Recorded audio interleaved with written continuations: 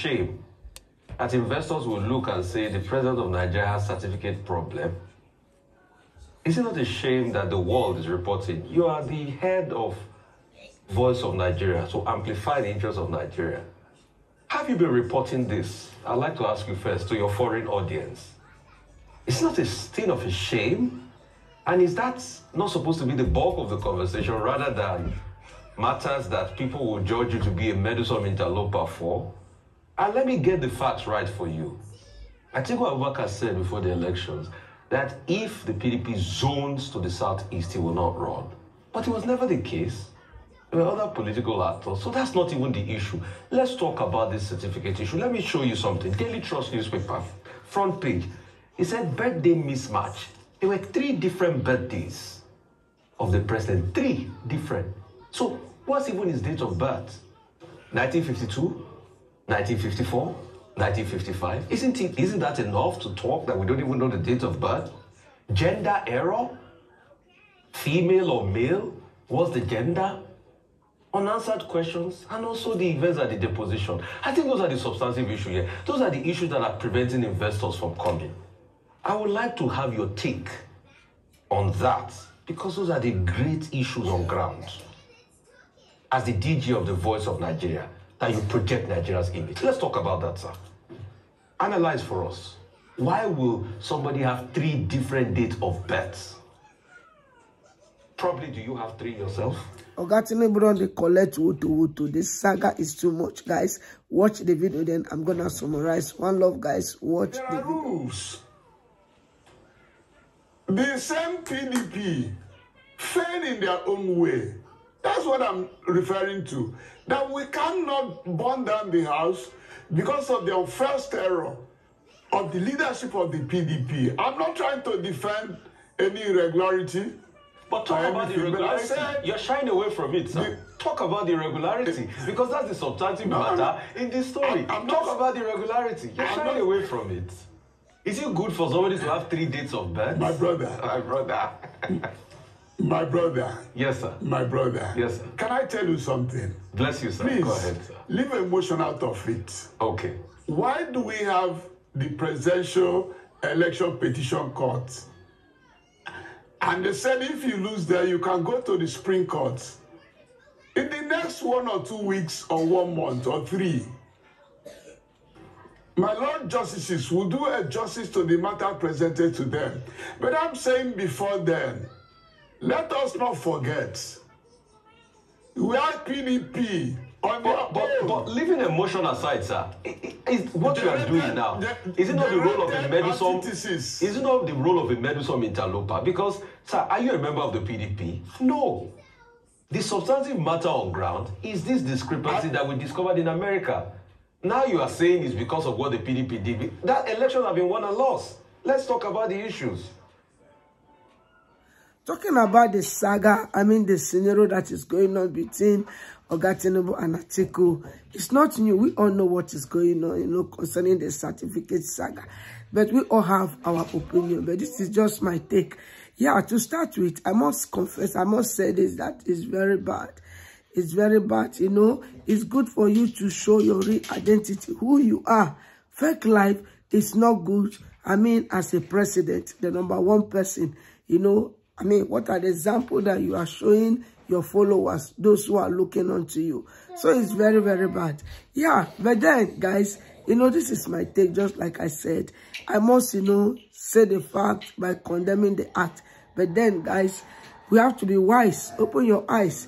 If we now said, okay, yeah, let's disqualify Oga Tinubu because of the forged certificate, it's not you. Guys, then who is the next person that they are going to give? Remember, Oga Buhari or whatever they called him when he was there. I mean, I mean, I mean, I mean, it was no, no, no for me. So now, if we said, okay, now, Oga Tinubu should be disqualified. The next person is the vice president. Either maybe they'll be giving it to the vice president or it will go back to North. Are we saying that let it go back to North? Let me know in the comment section. What do you think? Because if we are talking about, you know, disqualification or maybe whatever, we should know balance the equation, you know, we have to be wise as well. Is it not better for him to finish the four years? Then now we'll now start talking about the next things to do.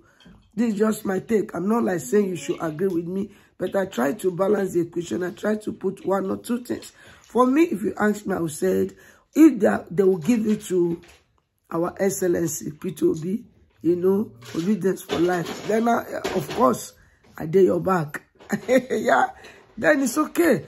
But for the fact that according to the constitution, you know, they said, if, let's say, Natinibu or Gatinibu is disqualified, the next person is the vice president that will take, you know, the position, or maybe Atiku. Are we not saying they should go to Atiku, go back to North? For me, it's no, no, no. Except they will give it to P2B, then I will not say yes. But if they will not, it's better Oga stay there and finish the four years.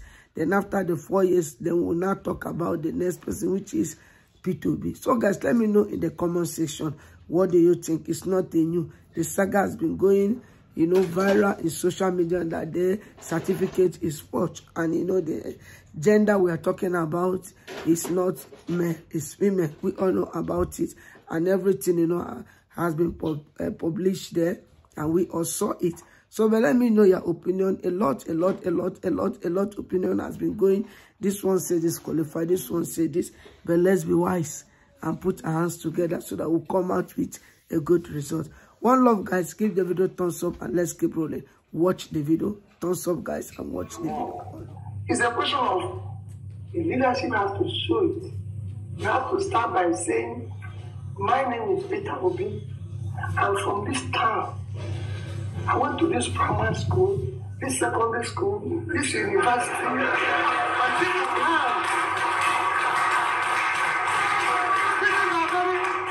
very important.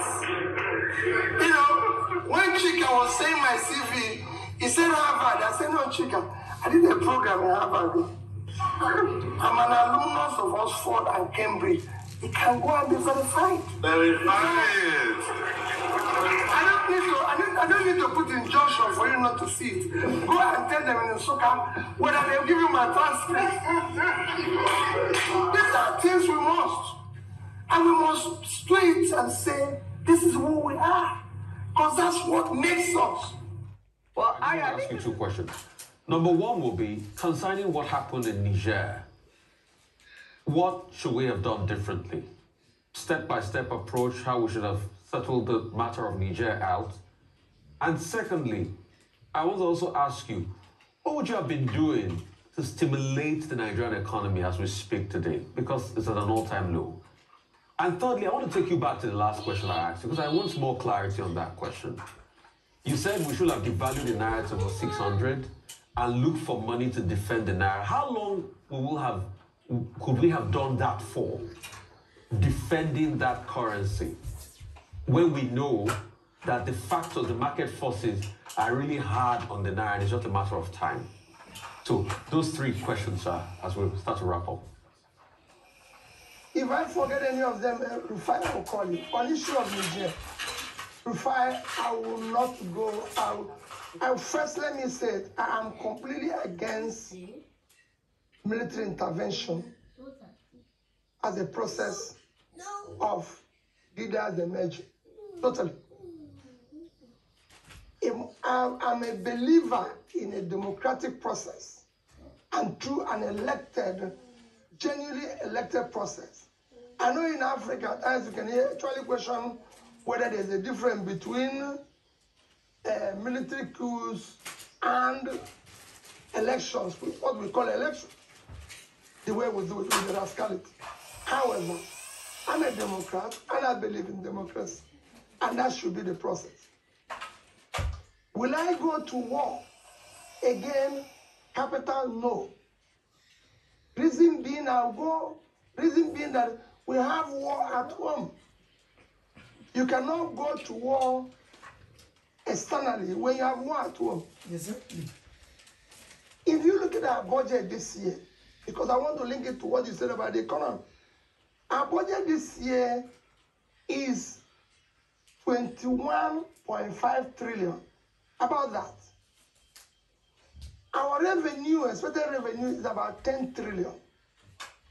which means we have a deficit of 53.5%, which is about 11.5 trillion. That's what you're lacking. That is all.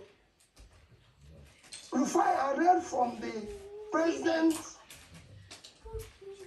National Security Advisor that we are losing 400, 400 barrels, 400,000 barrels of crude oil every day. If that is true, If you multiply by our benchmark, which is below the, the pricing today, that's about $30 million a day. And you put $30 million in one year, it will be about 10 point nine or 11 trillion billion dollars. Okay. 11 billion dollars. About that, by 11 billion dollars. Did? If you say you use, we just said it's one thousand to dollar, but let's use nine hundred. If you use one thousand, you have eleven trillion naira, which I know is not all your money, but what does it show? So you have a deficit of eleven point five. You're losing about eleven trillion somewhere, and then what it then shows, we find. If you put this, consider illegal mining of our minerals all over the country by foreigners and locals alike, consider other revenue leakages that is coming.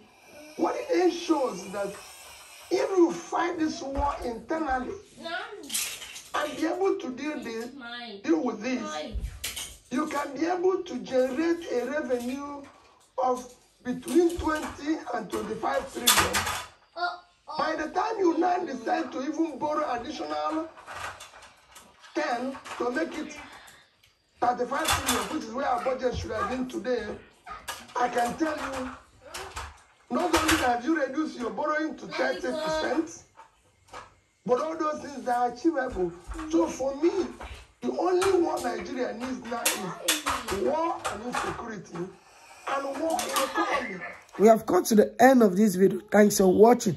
Don't forget to press the bell notification so that each time I post a video, you'll be notified. And if you're new in my channel, you're highly welcome. Wow, keep supporting your girl. And if you have not subscribed, subscribe and join this beautiful family. I embrace all of you. I love you, my new, my old subscriber. You guys are so amazing. Wow. If you have not subscribed, subscribe and keep supporting your girl. One love. Remember, put God first in whatever you're doing and never you give up, no matter the circumstances. I love you guys. Give the video a thumbs up, like, comment, and share. Bye-bye. I love you. I love you. Bye. One love.